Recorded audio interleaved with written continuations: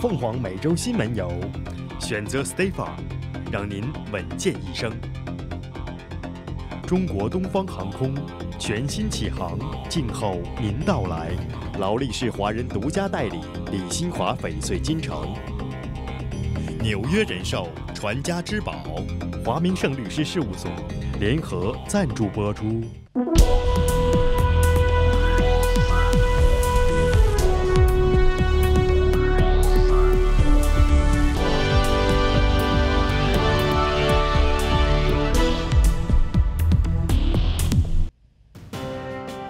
美国欢迎中国解除原对美禽肉进口限制。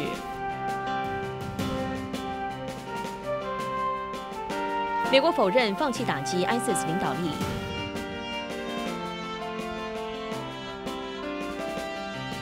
加州高中枪击两死三伤，枪手自杀重伤。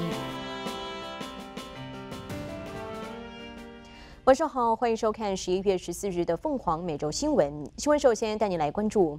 中国政府十四号宣布，即日起解除原对美国禽肉进口限制。美国贸易代表莱特希泽和农业部长博杜对此表示欢迎。预计美国每年对华禽肉出口将达到十亿美元。中国海关总署农业农村部十四号发布公告，宣布即日起解除原对美国禽肉进口限制，允许符合中国法律法规要求的美国禽肉进口。美国贸易代表办公室当天发表声明，欢迎中国决定解除原对美国禽肉进口的限制。美国贸易代表莱特希泽表示，对于美国农民和中国消费者而言，这都是一个好消息。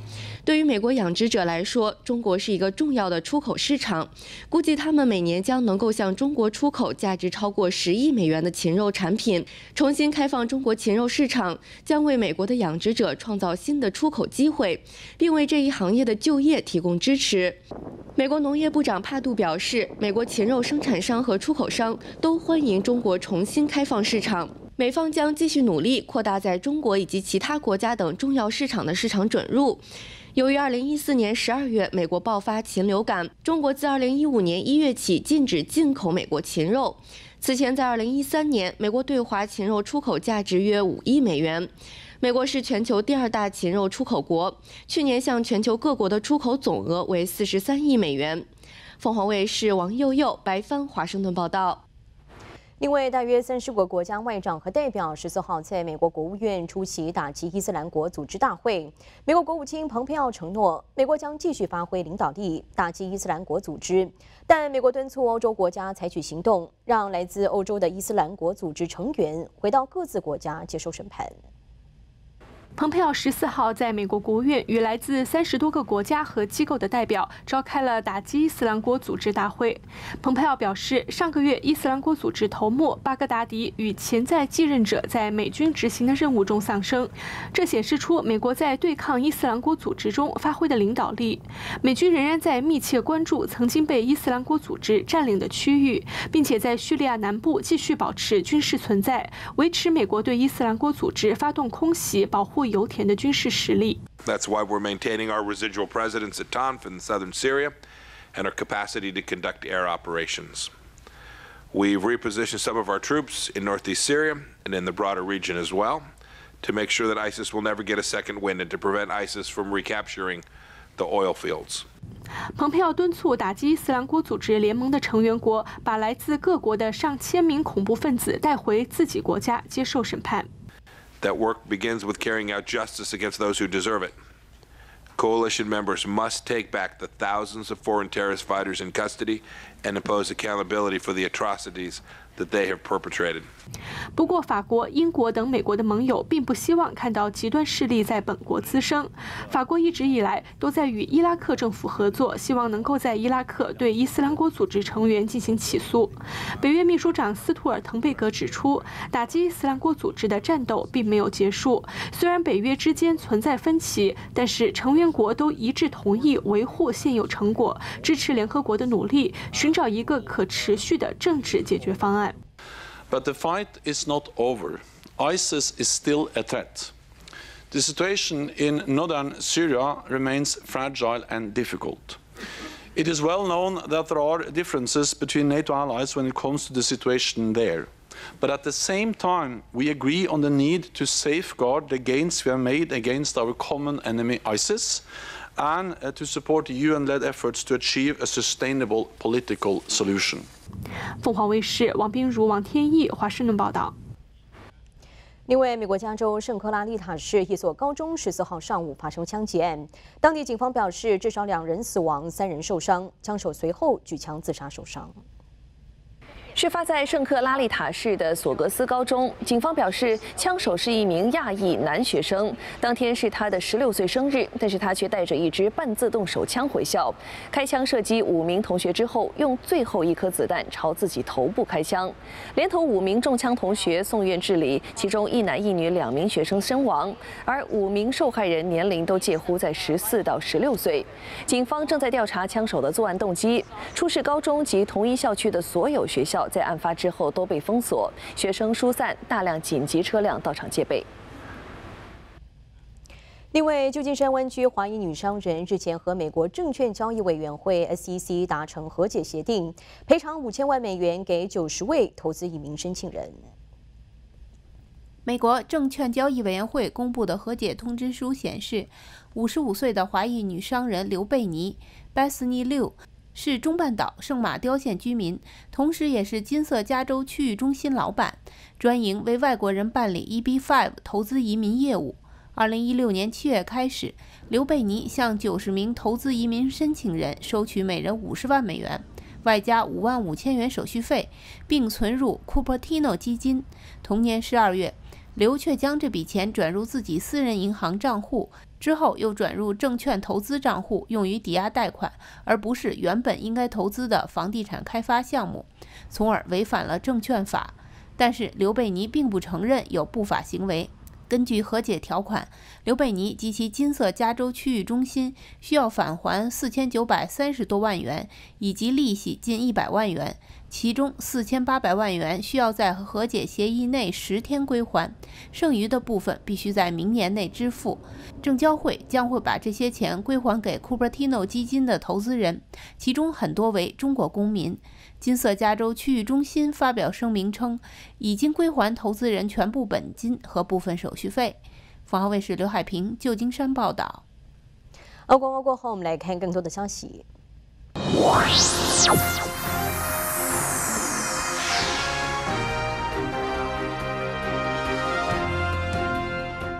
感谢回来，我们来看今天来自美国各地的简讯。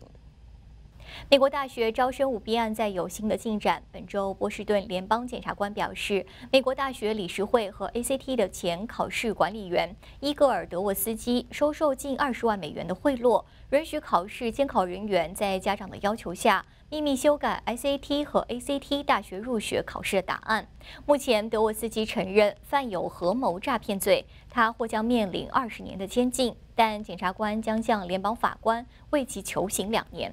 而就在同一天，房地产公司的高管托比·麦克法兰因通过合谋贿赂让孩子以运动员的身份入学，而被判入狱六个月，并罚款十五万美元。检方称，麦克法兰向该案的主谋辛格支付了四十万美元的虚假咨询费，其中一部分作为贿赂转给了南加州大学的教练，另外五万美元转给了参与该计划的一名官员。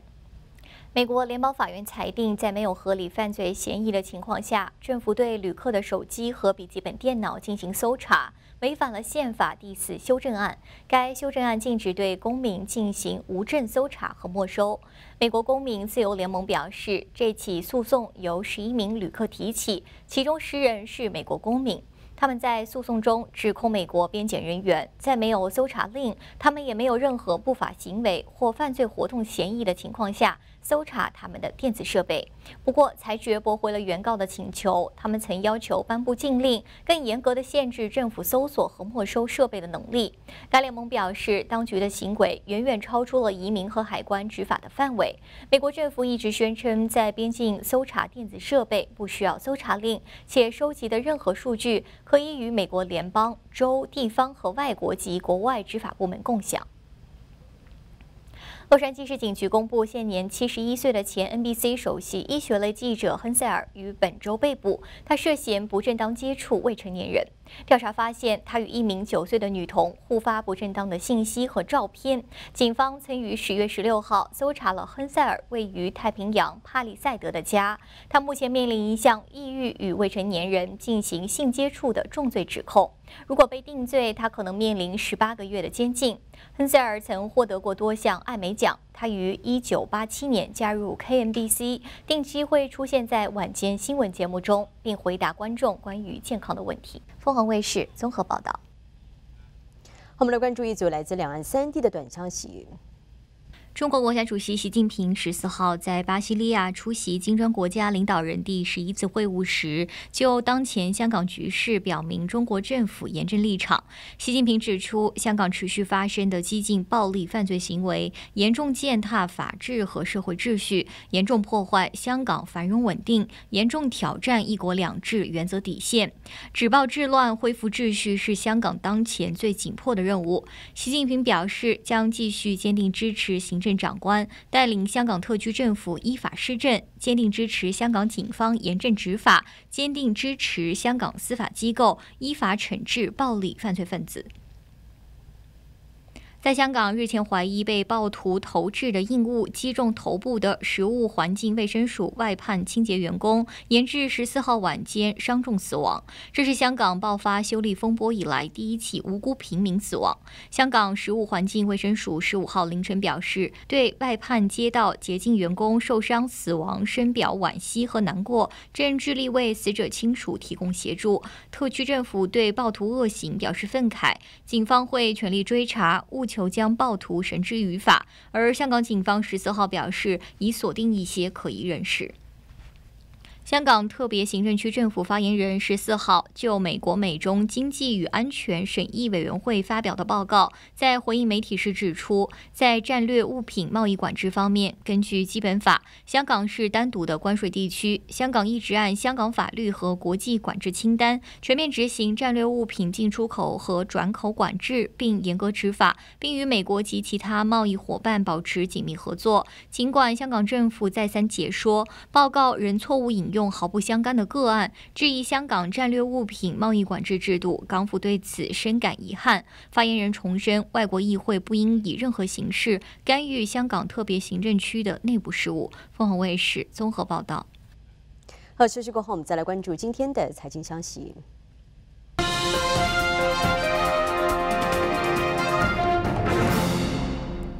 另外，在财经方面，，A 股周四是涨跌互见，主要股指小幅波动，几乎平盘作收。投资者继续关注公司财报、贸易谈判以及美联储官员讲话。美联储主席鲍威尔连续第二天在国会作证，称市场没有看到泡沫酝酿的迹象。我们来看华尔街股票市场在星期四走势状况。星期四美股早市开盘呈现窄幅下跌低开，随后全天是窄幅震荡，收盘是三大指数是涨跌互见作收。标准普尔五百指数再创历史新高纪录，但是纳指和道指则是窄幅下跌作收。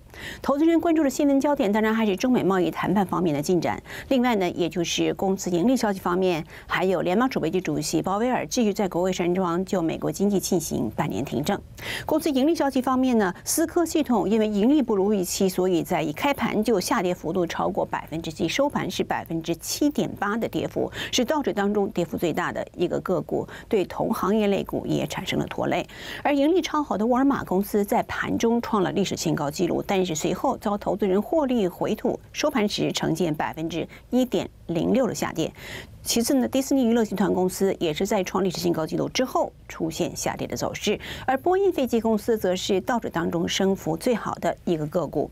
那么债券价格变动不大，收益率仍然是保持在百分之一点八二。黄金窄幅上升百分之零点五五，是一千四百七十一块四毛钱一盎司左右，而石油价格小幅下降百分之零点三，以五十六块九毛钱。一同收盘，那么主要的投资人还是观望心态是相当的浓厚，所以交易量和这个波幅都是相当的窄幅。总来说，星期四华尔街股票市场走势相当审慎。以上是星期四情况，凤凰卫视旁者纽约报道。好，我们来关注由 Ameritrade 德美利证券提供的全球财经指数。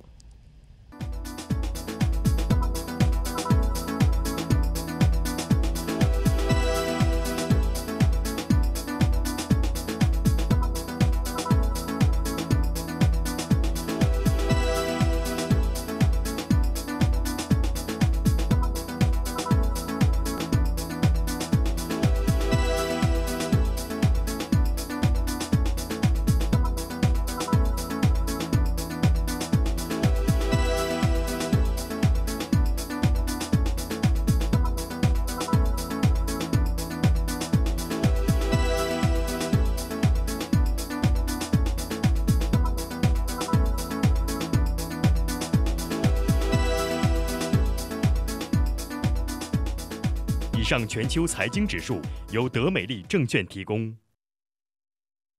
另外，在收集新闻方面，在近日举办的亚洲国际电影节中国电影日中，特别举办了吴天明导演电影回顾展，展映吴天明的三部经典电影。本次展出的有《老井》《人生》《没有航标的河流》这三部影片。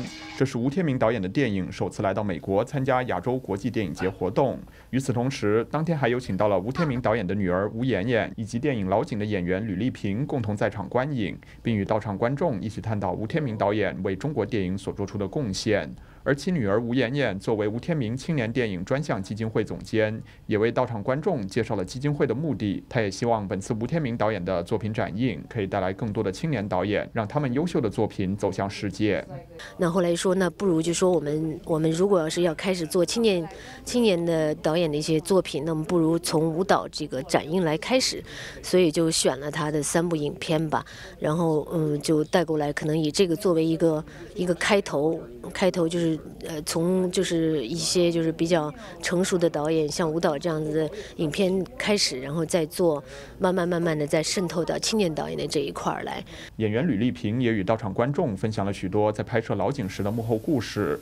据了解，吴天明为了拍摄《老井》这部电影，曾经去老井村体验了三个月的缺水生活。吕丽萍表示，她非常敬佩吴天明导演这种对于作品的认真态度。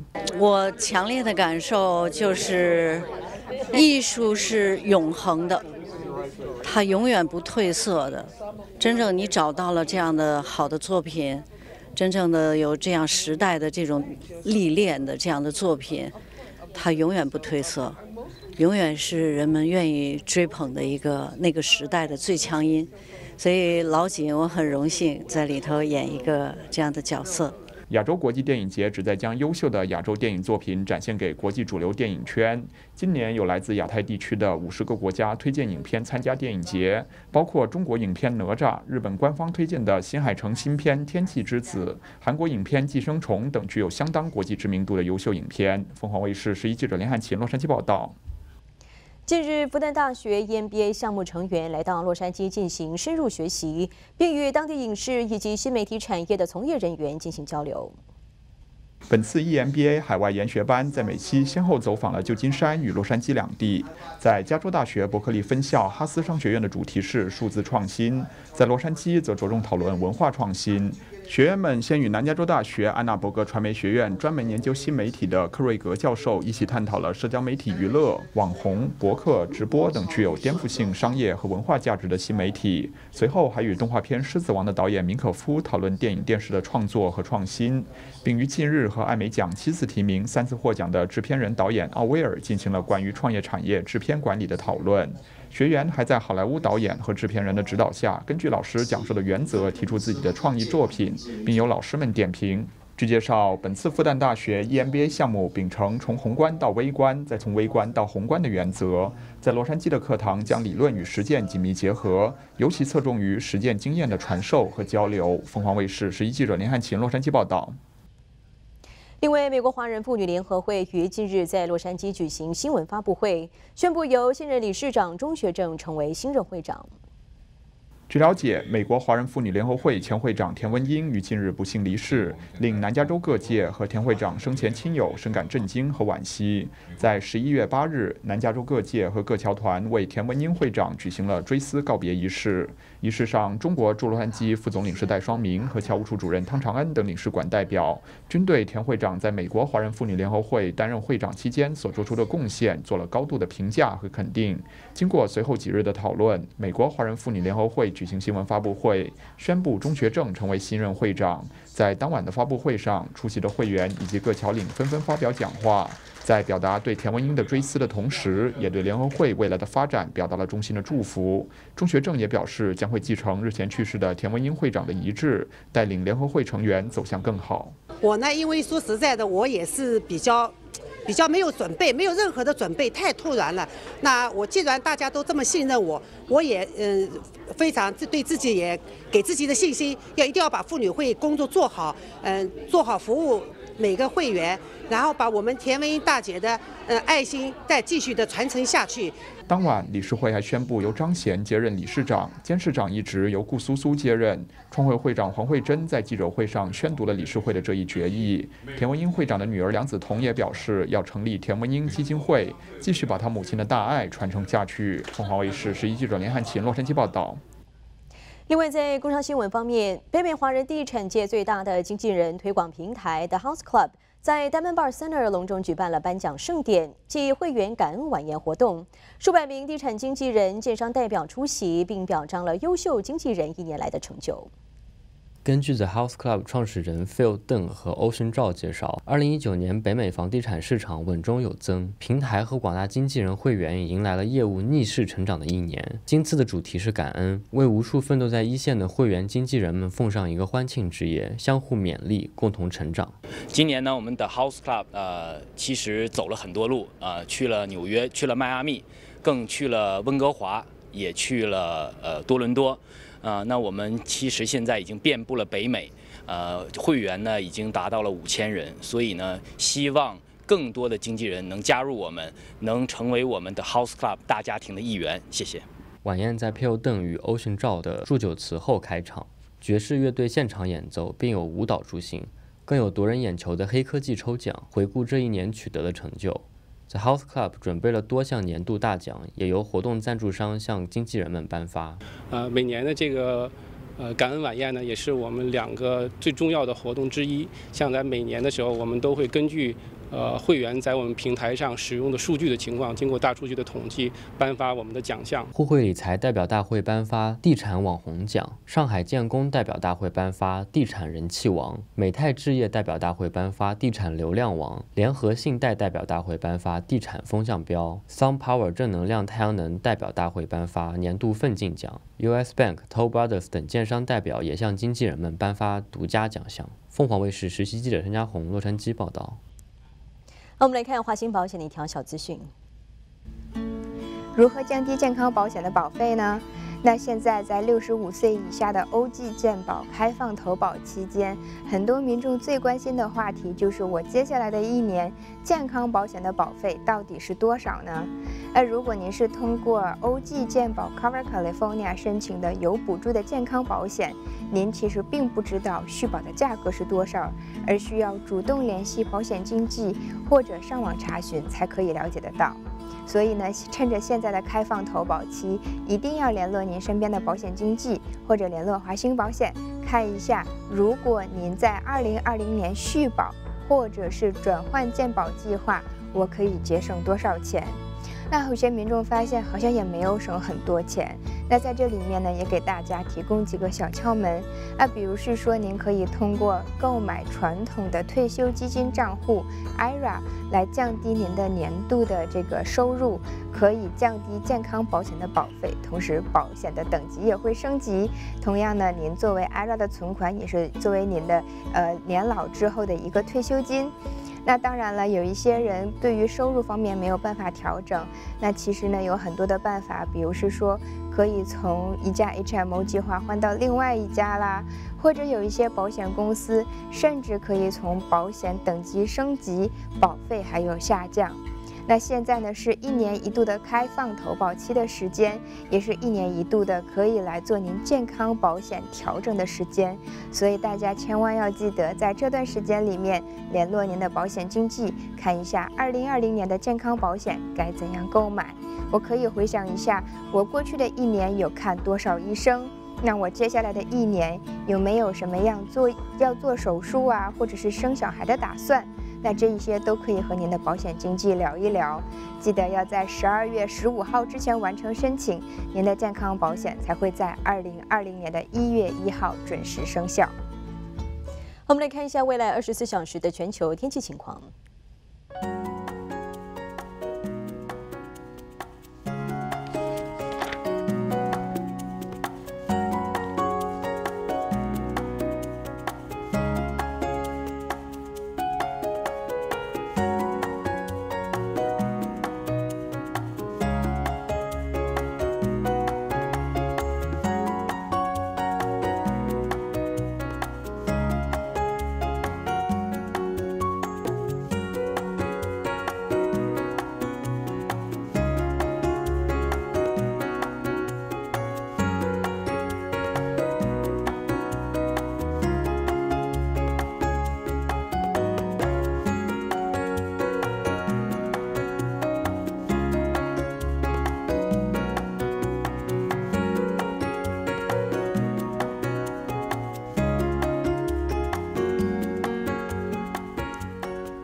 以上就是这节新闻，更多的新闻资讯，请登录凤凰新闻微信平台。感谢您关注。